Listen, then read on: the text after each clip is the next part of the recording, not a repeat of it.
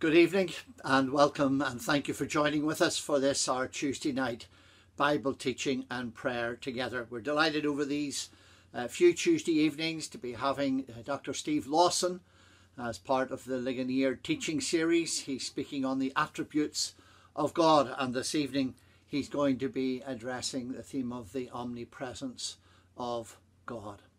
But let us now join together in worship of God as we sing our opening praise 10,000 reasons. Bless the Lord, O my soul.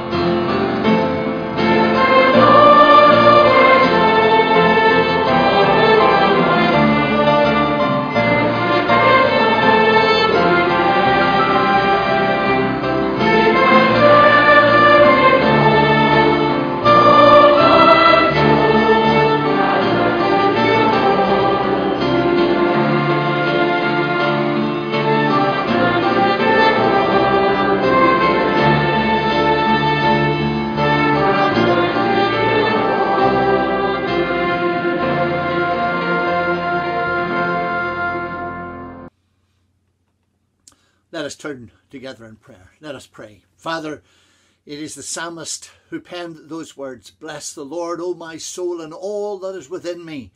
Bless his holy name. Bless the Lord, O my soul. and forget not all his benefits.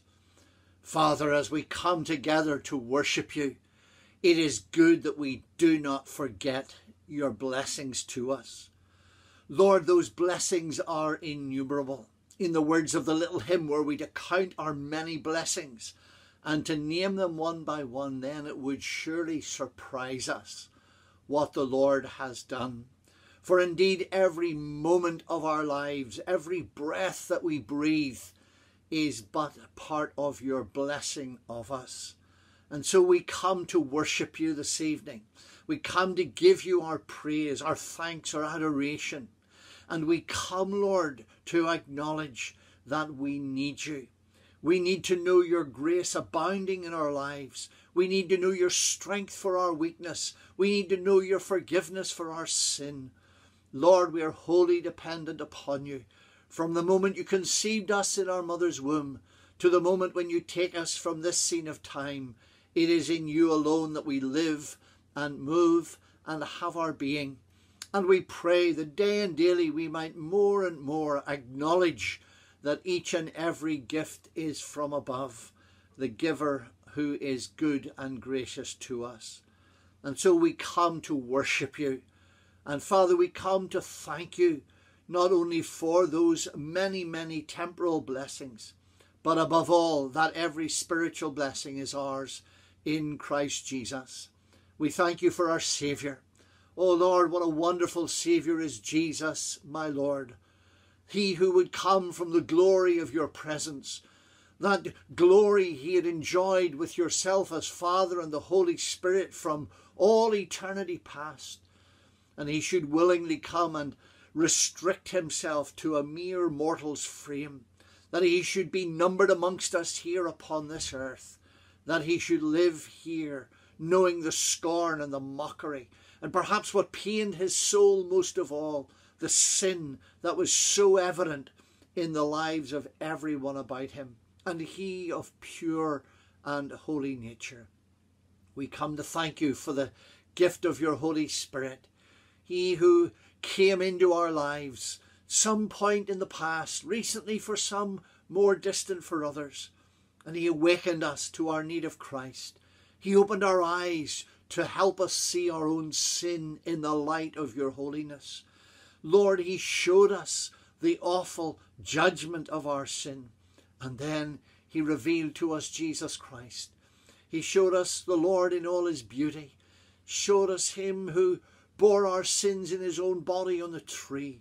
He showed us how we could be forgiven and that vast chasm that our sin introduced between you, a holy God, and us sinful people could be bridged, and that only through our Lord Jesus.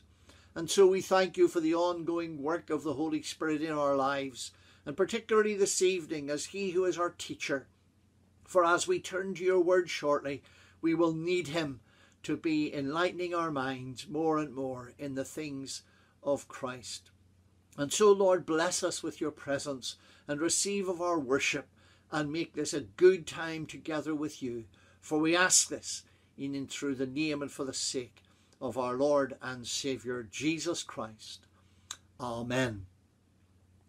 Well, let us turn to read together in the Word of God, and we're going to read in the Psalm 139. These are very well known words uh, when the uh, psalmist is speaking about God's knowledge. 139 and reading from verse 7. The psalmist writes, Where can I go from your spirit? Where can I flee from your presence? If I go up to the heavens, you are there. If I make my bed in the depths, you are there. If I rise on the wings of the dawn, if I settle on the far side of the sea, even there your right hand will hide me, and your right hand will hold me fast. If I say, Surely the darkness will hide me, and the light become night around me, even the darkness will not be dark to you. The night will shine like the day, for darkness is as light to you. Well, we hand over to Dr. Steve Lawson for his teaching of us on the omnipresence of God. We come now in this session to the omnipresence of God. And I think we're beginning to understand why God is so incomprehensible. This is to say that God is above and beyond our limited capacity to comprehend Him. John Calvin, the great theologian, wrote, The finite, that would be you and me, cannot contain or grasp the infinite, that would be God. And the great Puritan Richard Sibbes said, How shall finite comprehend the infinite? We shall apprehend him, but not comprehend him. Now, this is not to say that we cannot know God. We can know God, and we do know God. That's what it is to have a saving relationship through Jesus Christ with God. It is to know God. And we are to grow in the grace and knowledge of our Lord Jesus Christ. We are to grow ever deeper and ever closer to God. But we can never comprehend the fullness of all that God is. And this leads us now into these next attributes that begin with the Latin word omni, which means all. Uh, omniscience, omnipresence, omnipotence. Uh, these words mean that God is all knowing, that God is all present, and that God is all powerful. Right there, that expands our minds to the outer limits and we cannot grasp the, the whole of what that means, but we do want to look into the Scripture and see what our God is like. Who is this God that we have come to know? And He is omnipresent. And so, as we look at this attribute of God, His omnipresence, and there are four things that I want to tell you about the omnipresence of God. Number one, He is everywhere present. The Bible clearly asserts by this name of this attribute, omnipresence, that God is all present. This is to say, He is everywhere present, He is in every place, at every point of His creation. There is no place within the universe from which God is excluded or barred. As we've already talked about in a previous session, God is a spirit being, so therefore He does not have spatial dimensions, He has no limitations.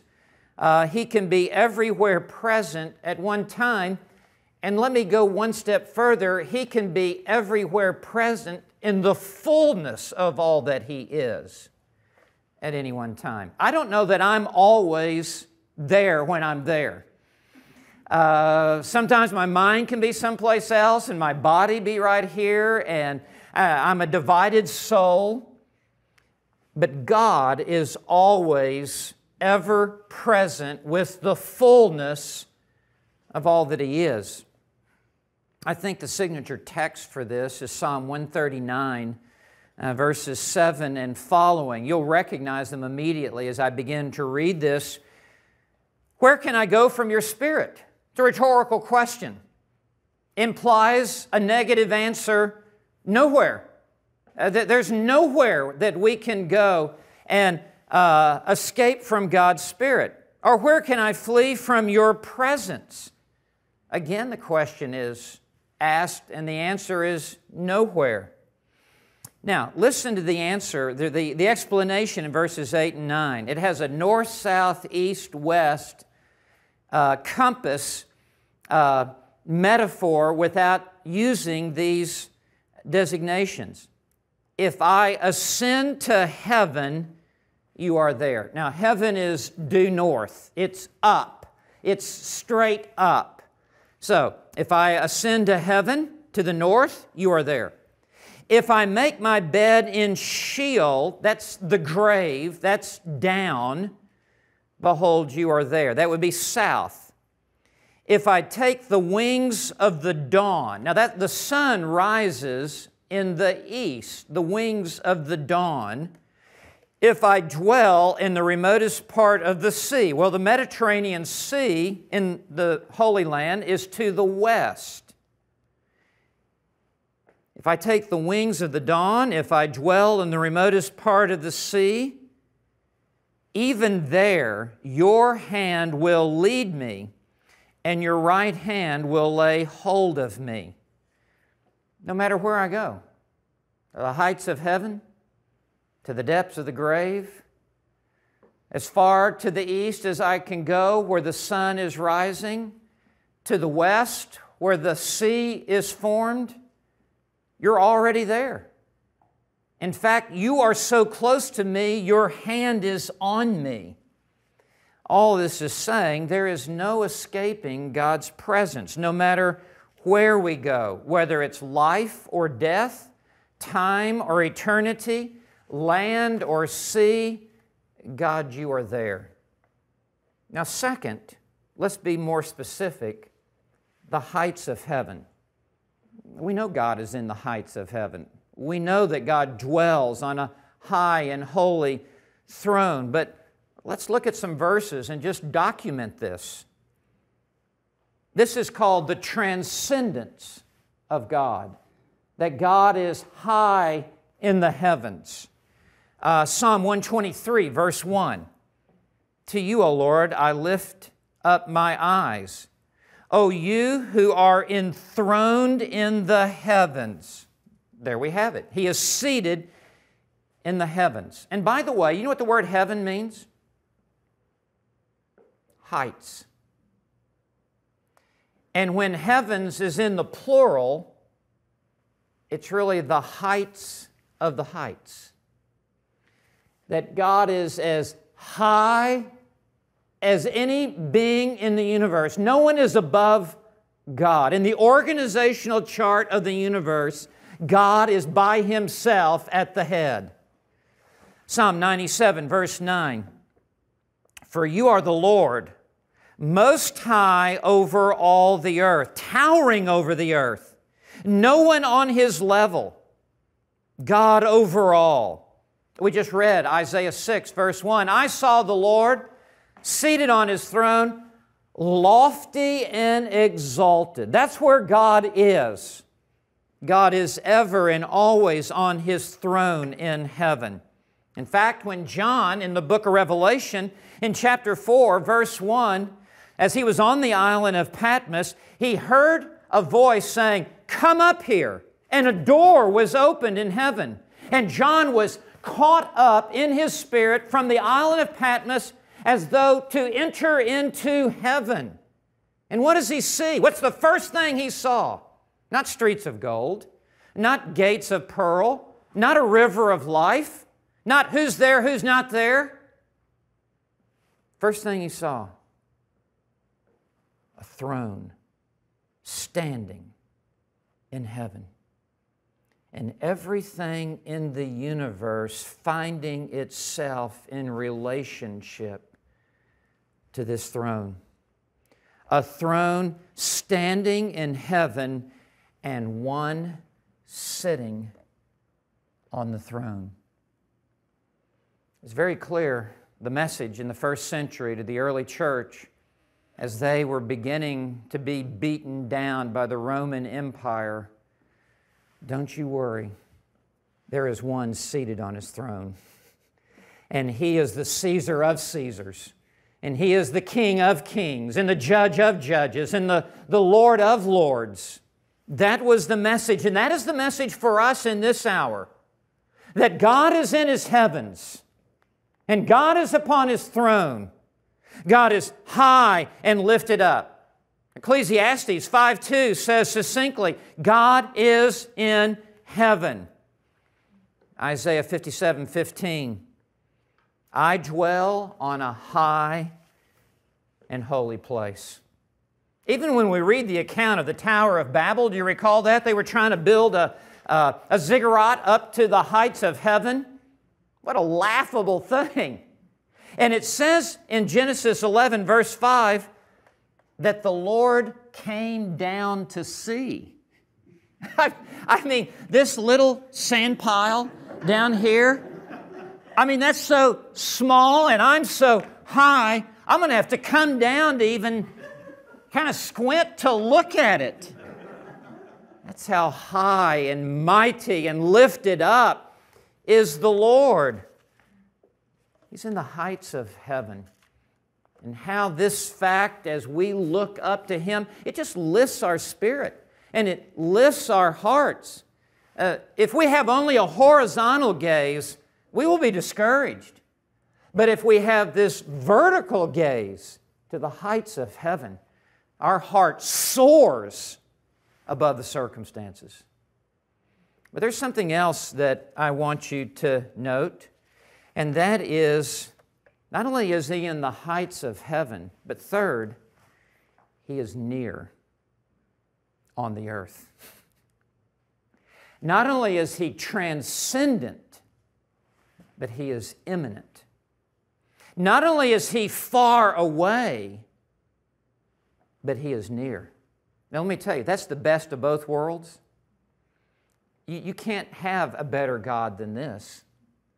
A God who is high and ruling and reigning, but a God who is also in the trenches with me, a God who is in the pit with me, a God who is walking with me through the valley of the shadow of death, a God who is with me in the nitty gritty of life, a God who is with me in the tough times, a God who is with Daniel in the lion's den, a God who is with Shadrach, Meshach, and Abednego in the fiery furnace with them. Yea, though I walk through the valley of the shadow of death, I will fear no evil, for you are with me. Your rod and your staff, they comfort me. What a comfort it is to know that we're never alone, that God plus one still makes a majority, that God is with us and God is in us and God is for us and God goes before us, and God is under us, and He is over us, and He comes in behind us to guard us and to protect us. Our God is with us.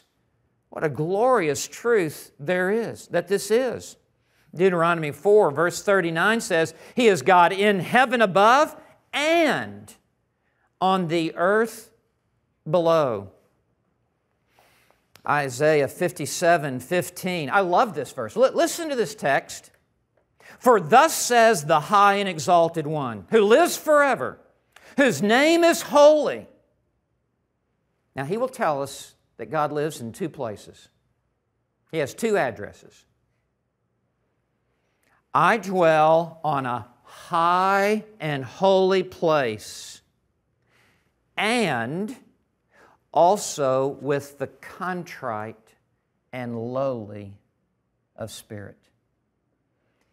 God is in the highest place in the universe, and He is in the lowest place on the earth with those who are bowed down and even beaten down under the heavy blows of life and who have a low and contrite spirit. God says, I am with that one who is lowly and contrite in heart. He promised the church in the Great Commission, Lo, I'm with you always, even unto the end of the age. He says to us in Hebrews 13, verse 5, I will never desert you, nor will I ever forsake you. God is with us in every adversity. He is with us in every trial. He is with us in every storm of life. In fact, I think we could even go so far as to say He is never any closer to us than when we need Him the most. Jeremiah 23, verse 23. Am I a God who is near, declares the Lord, and not a God far off? Do I not fill the heavens and the earth? Right there, God says, I am a God who is the God who is far off, and I'm a God who is near. He is everywhere. The heights of heaven, and with the most humble and lowly of heart. Ephesians 4, verse 6 says, One God and Father of all, who is over all, that's his transcendence, and through all, that is his immanence, and in all. Think about those prepositional phrases over all, through all, in all. That is God's omnipresence. He's in the heights of heaven. He is everywhere on the earth. He is near to us. He is close to us. He is also in the depths of hell. There is no place where God does not exist. And it is even God Himself who is inflicting His own wrath in hell. It is God Himself who is carrying out His own vengeance upon the unbeliever in hell. Revelation 14, verse 10, is really the key text on this mind expanding truth. He, referring to the one who is an unbeliever, will drink of the wine of the wrath of God, which is mixed in full strength in the cup of his anger. What a metaphor that is. And he will be tormented with fire and brimstone. Now, listen to this. In the presence of the holy angels and in the presence of the Lamb. This wrath, this vengeance will be executed in the very direct presence of the Lamb. And I believe it is reasonable to make the implication that it is the Lamb Himself who will be the executor of His own wrath in hell. Sometimes we say the expression, if you don't believe in Christ, if you don't commit your life to Christ, you will go to hell away from the Lord. Those in hell only wish that they were away from the Lord. They only wish they were left alone. They only wish they could escape from the wrath of the Lamb. They only wish that they were no longer in his presence. Now, this needs to be reconciled with 2 Thessalonians 1 9, which says, These will pay the penalty of eternal destruction away from the presence of the Lord and from the glory of his power. Well, this word for presence here is a Greek word that means away from the eye of the Lord, away from the countenance of the Lord. And the idea is the Lord will turn his face away, no longer to extend any grace, even common grace, but that the Lord will turn away any any smile of his countenance, as they will be forever under the execution of his wrath. So the Lord is in the heights of heaven. The Lord is everywhere on the earth. Uh, the, in fact, even when we read the uh, account of the ark, and when God says, to enter the ark, God says, Come in, as though God is inside the ark. Come in. God is in the depths of hell. God is everywhere present. Let me tell you two things about this truth it's comforting and it's convicting. It's a two edged sword, it plays both sides of the aisle. And I know you're out ahead of me as you're thinking this through. First of all, it's comforting, is it not? to know that God is with me in every adversity of life, every difficulty of life. I'm never on my own. His grace is always sufficient and with me. He will never leave us nor forsake us. Uh, God is in the trenches of life with me to help me, to comfort me, to encourage me. But this also means that I can never escape the Lord as well. And there are people who, like Jonah, try to run away from God. Try to run to another city, try to run to another state, try to run to another wife or to another family, and they think they can escape the Lord. What fools they are. You can never escape the Lord, He is everywhere present. Now, this is a very convicting truth that God is everywhere present. And so, therefore, we cannot run away from our troubles. We cannot run away from our problems as though we can avoid God in having to deal with situations. No, God is everywhere present.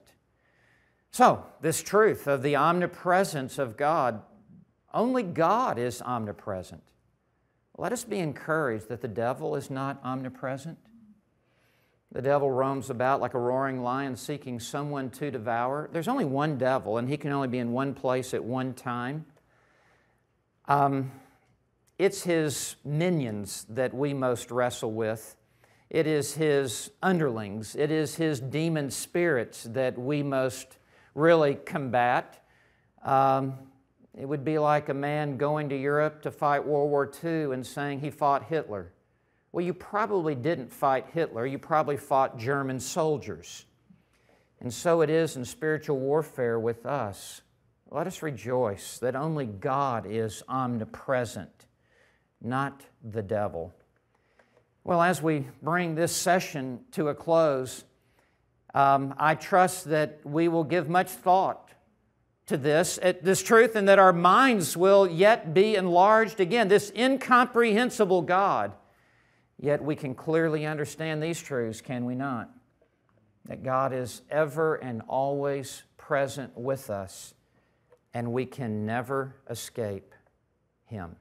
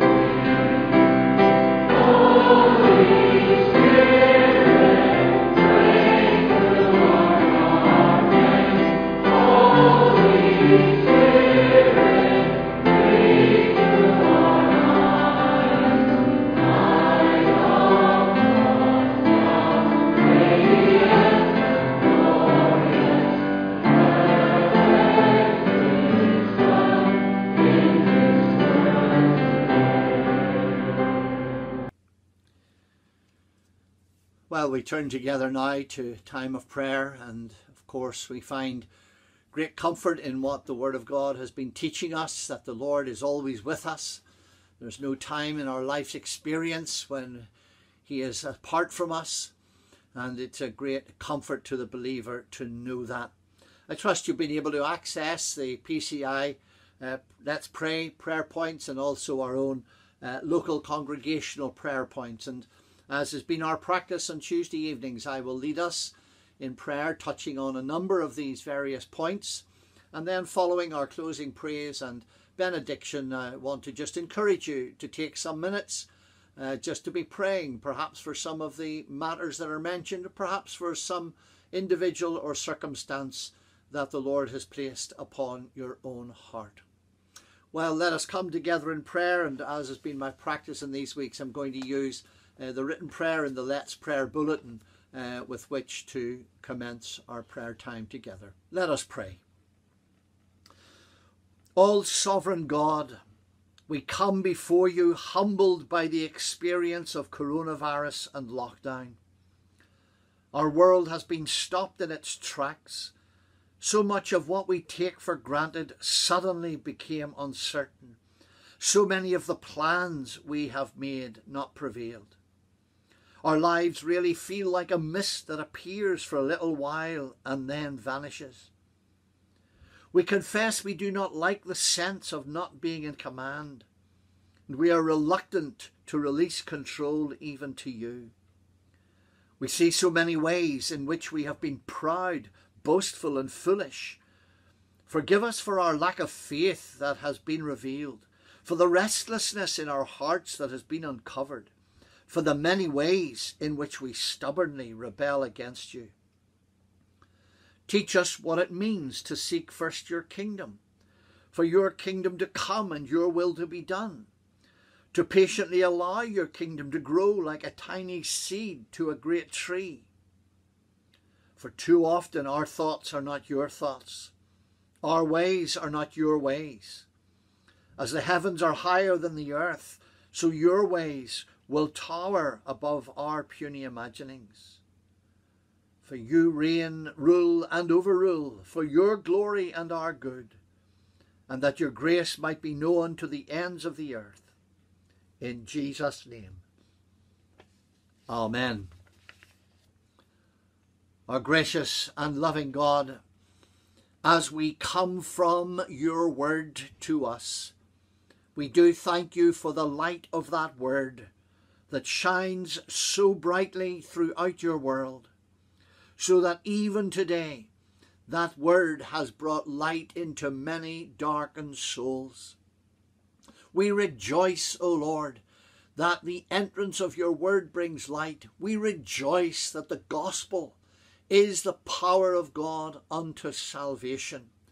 And we thank you that, Lord, that word and that gospel have delivered men and women and boys and girls from their bondage to sin, broken the chains that have held them, and brought them into the great freedom that is ours in our Lord Jesus Christ.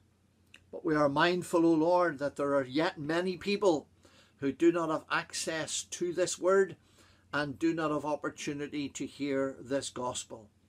Oh, how blessed we are in our own province how blessed our neighbours and our community who have access to the scriptures in their own language, who have access to a place of worship and the preached gospel week by week and many times in the course of a week.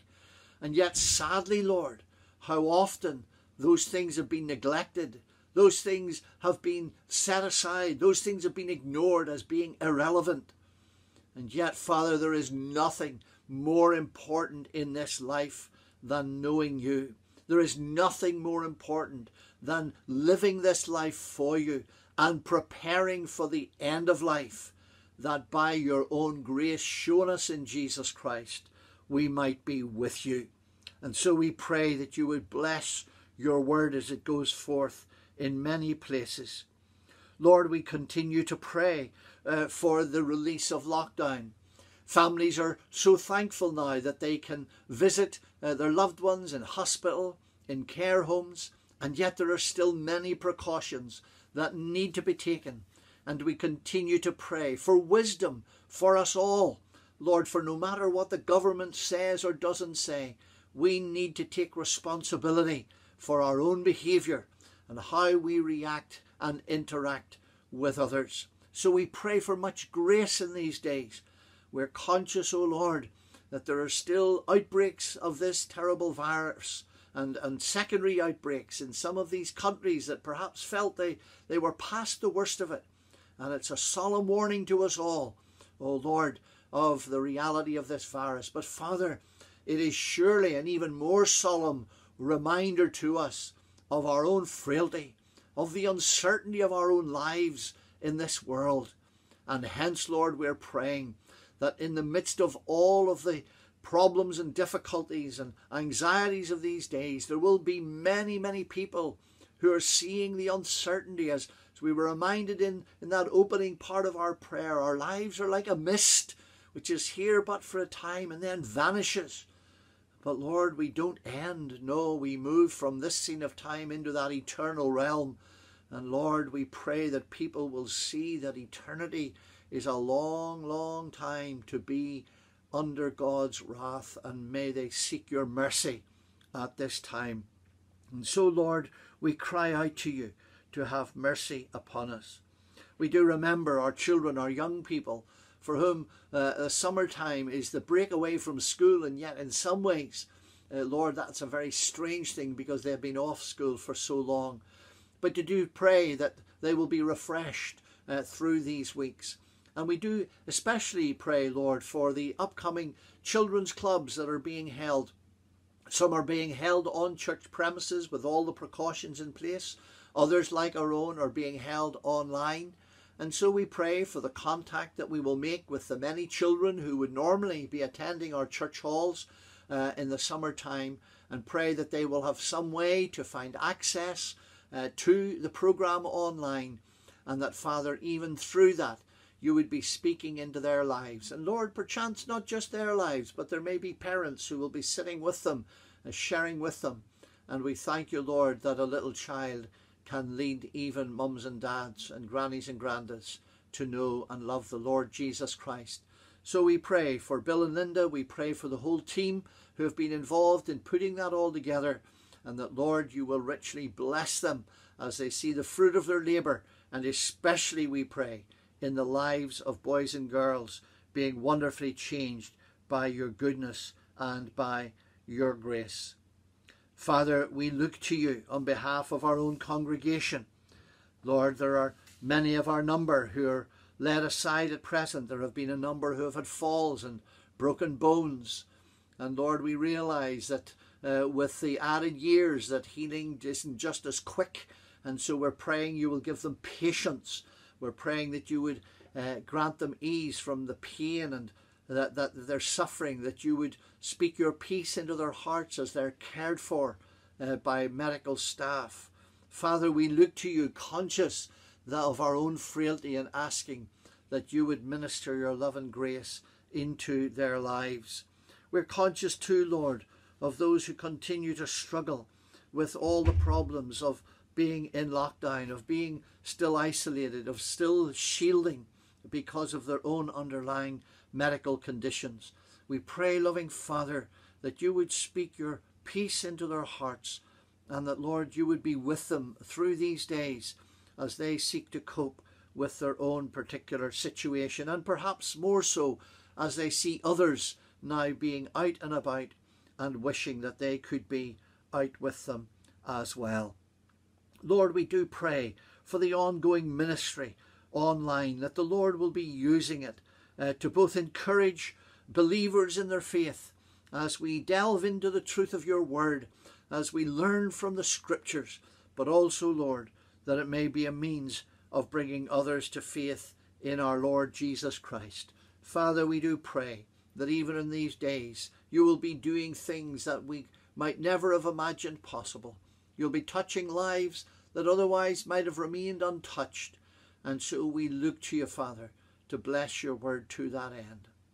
Loving God, we cast ourselves upon you, for as a church, we're being cautious as we seek to move forward, we seek to contemplate developing uh, our church life a little. And we're just so thankful, Father, that we have a session who are being wise and thoughtful in relation to all our members and seeking in every way to lead us forward in your will and to your glory. And so, Father, we pray that you would bless us, even as we have shared together, perhaps as families, as couples, perhaps even on our own, just in our homes, that, Lord, we will know your presence. We will sense not only your loving arms about us, but, Father, we will sense the prayers. We will sense the presence of those who on a Tuesday night we would normally love to see face to face. We would normally love to share in the fellowship of prayer. But Father, as their, as their faces come before our minds even this evening, we are praying for them.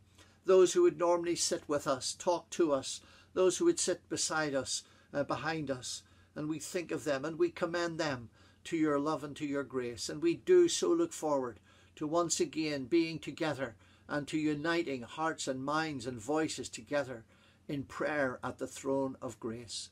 And so, Father, in the meanwhile, keep us close to yourself. Lord, bless us as we seek to follow you day by day and enable us in all our ways to bring honour, praise, and glory to you, our great God, and to our wonderful Saviour, Jesus Christ, in whose name we pray. Amen. Amen. Well, let us join together to sing in closing a, a hymn which is also a prayer, Nearer, my God, to Thee.